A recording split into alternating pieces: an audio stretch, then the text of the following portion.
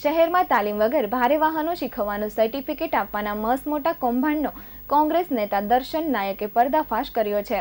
ગુજરાત પ્રદેશ કોંગ્રેસ મહામંત્રી દર્શન નાયકે શહેરમાં ચાલી રહેલ ભારે વાહનોની ડ્રાઇવિંગ ટ્રેનિંગ સ્કૂલમાં ચાલતા ગેરકાયદેસર વેપલા અંગે ગૃહ રાજ્યમંત્રી હર્ષ સંઘવી તેમજ આરટીઓને ફરિયાદ કરી છે. સુરતમાં ડિંડોલી, ઉધના જેવા વિસ્તારોમાં આવેલ હેવી વાહનોની ડ્રાઇવિંગ સ્કૂલમાં કોઈ એક્સપર્ટ ટ્રેનર નથી કે તેઓ પાસે હેવી વ્હીકલ જેવા કે ટ્રક કે ખટારા શીખડવા માટે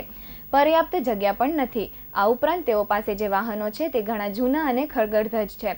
અને સૌથી મહત્વની વાત એ છે કે હેવી વાહનો હંકારવા માટે કોઈ પણ જાતની ટ્રેનિંગ પણ આપવામાં આવતી નથી. ટ્રેનિંગ આપ્યા વગર જ ટ્રેનિંગ આપ્યાનું સર્ટિફિકેટ આપી દેવામાં આવે છે, જેને કારણે અનાવડત ધરાવતા ડ્રાઈવરો દ્વારા આવા વાહનો ચલાવવાથી ઘણા નિર્દોષ માણસો અકસ્માતનો ભોગ બને છે અને જીવ ગુમાવી બેસે છે. ત્યારે આવી મોટર ડ્રાઇવિંગ સ્કૂલ અને માનવજાત માટે લાલબત્તી સમાન છે. ત્યારે દર્શક નાયક દ્વારા અંગે ગેરકાયદેસર કૃત્યો કરનાર ઈસમો અને ડ્રાઇવિંગ સ્કૂલ વિરુદ્ધ કાયદેસરની ફોજદારી કાર્યવાહી કરવા અને આવી રીતે ગેરકાયદે માન્યતા આપનાર અધિકારીઓ સામે પગલાં લેવા માંગ કરી છે.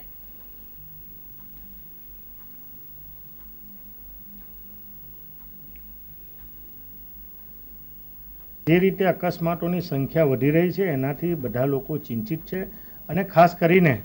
જે રીતે વાહનોની સંખ્યા દિન પ્રતિદિન વધવાથી અને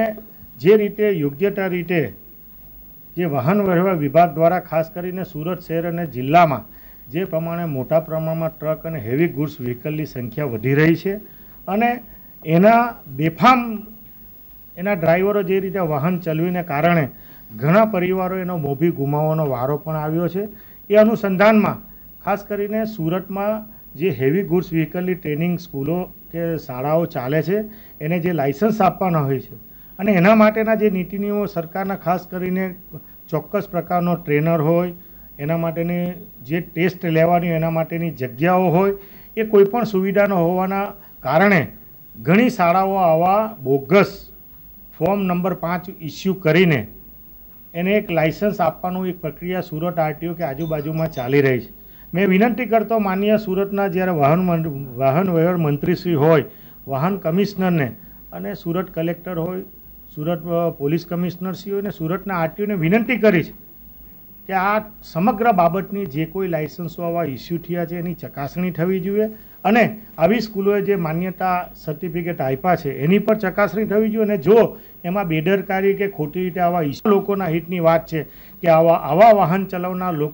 લોકોનો કોઈ અકસ્માતમાં ભોગ ન બને ને કોઈ પરિવારનો, કોઈ દીકરો, માતા, પિતા કે કોઈની દીકરી ન ગુમાવવાનો વારો આવે, એ અનુસંધાનમાં એક માનવતાના રૂપે મેં એક પત્ર લખીને વિનંતી કરી છે કે આ તાત્કાલિક અસરથી આ બાબતની તપાસ થવી જોઈએ અને આવનારા દિવસોમાં આવી સ્કૂલો કે આવા લાઇસન્સો ન ઇસ્યુ થાય, એ માટેની તકેદારી રાખવી જોઈએ એવી મારી લાગણી અને માંગણી છે.